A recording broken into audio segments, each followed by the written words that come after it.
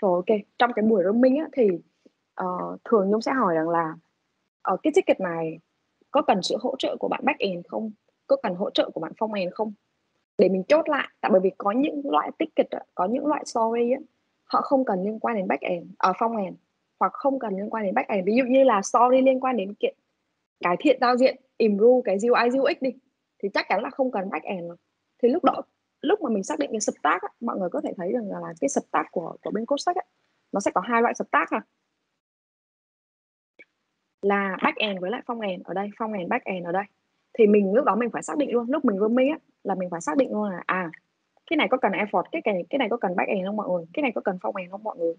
Rồi, OK, nếu mà cần cả hai, đúng không? Thì mình có thể đánh label, mình có thể lựa chọn một cái loại label là ở back end và frontend đều cần phải nhảy vào đây để làm.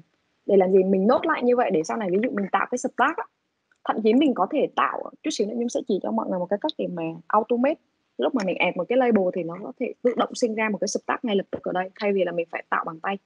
OK.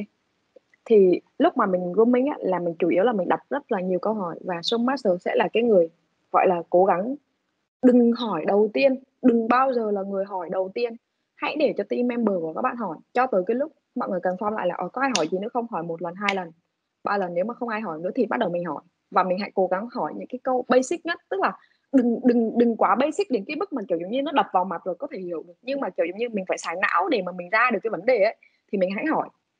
Thì thành ra nó sẽ giúp cho những cái bạn member còn lại, ờ, đỡ cảm giác bị chơi vơi ấy. OK La.